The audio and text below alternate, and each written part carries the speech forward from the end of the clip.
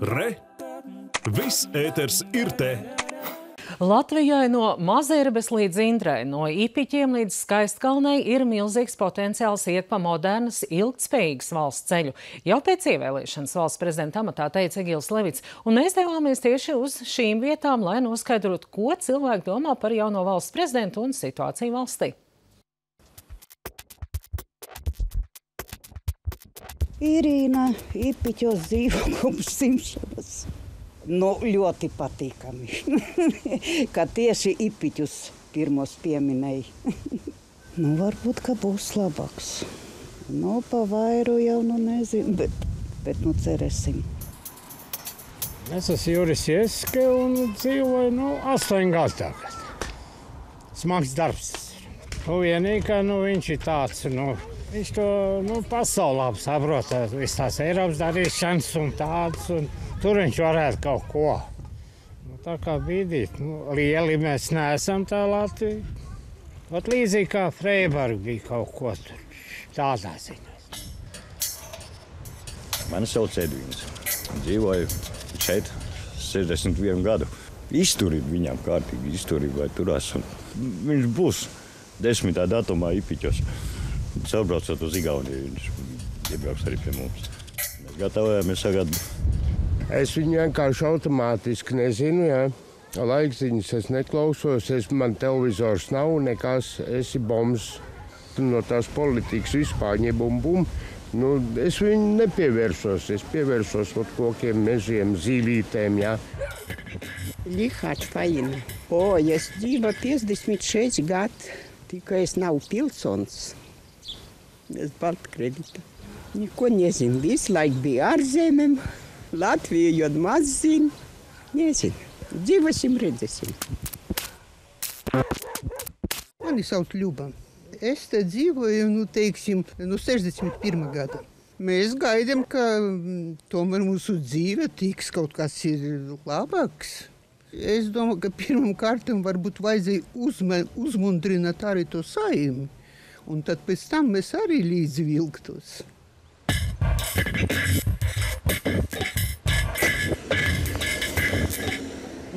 Mani Vanda sauc. Visu mūžu esmu nostrādājusi šeit.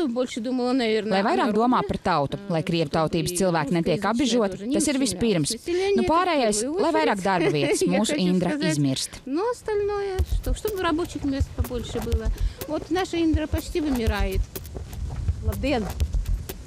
Piedalīties? Jā, tepat netālu no Indras.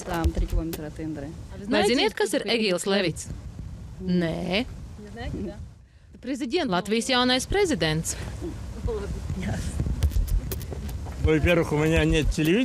Man šeit nav Latvijas televīzijas, tāpēc es par Latviju praktiski neko nezinu. Es skatos Krievijas televīzijas, jo Latvijas nevar redzēt. Lūk, arī rezultāts.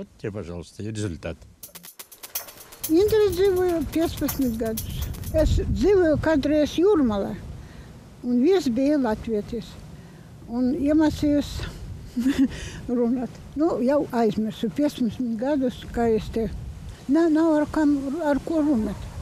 Latviski, visi krievisti. Dzirdēšu esmu, bet ko es varu pateikt? Tālu dzīvējamies, lai visu zināt. Regīna mani sauc. Indra es dzīvoju no 75. gada.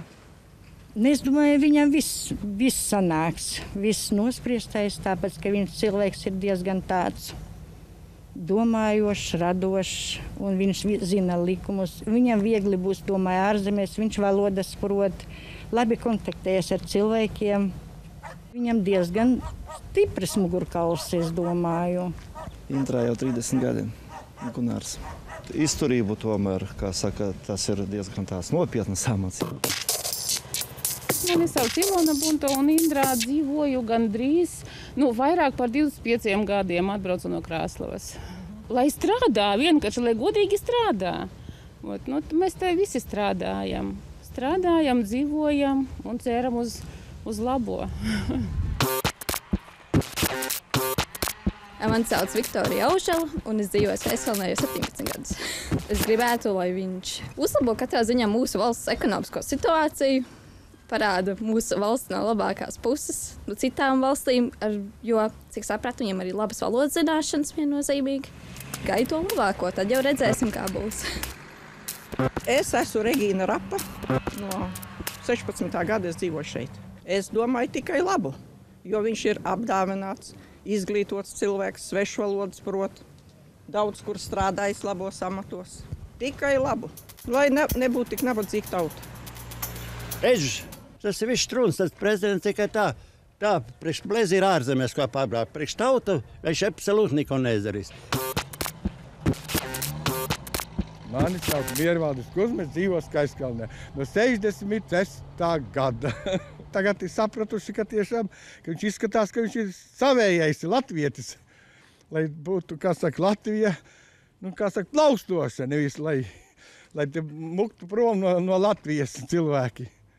Dabīgi, kas tautu saliedēt, lai beidzot beigtos tā kas saka, jums neņemiet ļaunā par izteiksmi, lai beidzot būtu tās, kas saka, tā bezjēdzīgā zakšana. Nu, viņš atbraukt uz skaistkalni pie mums.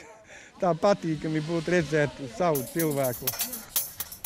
Brigita pavasarī dzīvoja Skaiskalnē, par, ziemā es esmu rīdzinieks. Es nezinu, man liekas, ka viņš ir ļoti tālu no mūsu tautas, nevis no, no Latvijas vispār. Tā kā es, es nu, tiešām grūti teikt. Olita Silakaktiņa. Šeit kalpoju astoņi gadi un lepoties gribētu. Tāpat kā iepriekšējais prezidents Maira Vīķa Freiberga.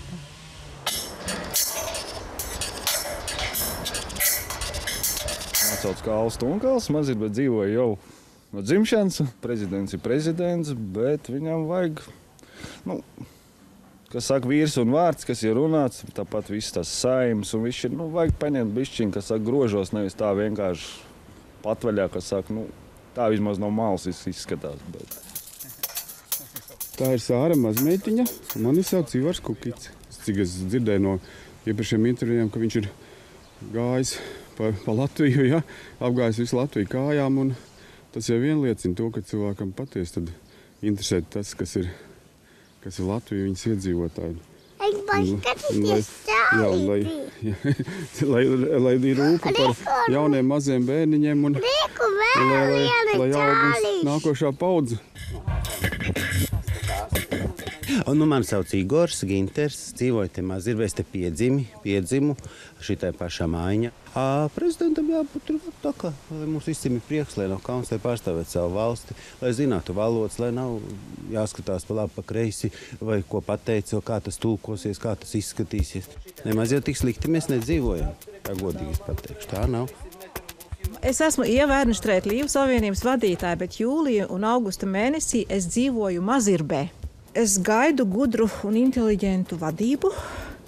Es gaidu skaidru runu un skaidru valodu, tā lai patiešām, kā tika teikts, ka tā tauta dzird un saprot, uz, ko, uz kurien mēs kopā varam iet. Lai mēs katrs savā vietā, kur mēs esam, katru dienu vienu labu darbu izdarām tur, kur mēs esam. Man sauc Inta. Mintauts Jasons. Prezidentam jābūt kā prezidentam. Ir jāpārstāv valsts, jā, jāizstāv iedzīvotāju tiesības un, un, un visādā citādā veidā labklājība jāceļ. Jādarbojas savā vietā. Jātīsta valsts visā kopumā, nevis tikai vienā vietā. Tā lai ir tiešām, kā viņš pats teica, tautas prezidents, nevis tikai tur vienai čupiņai.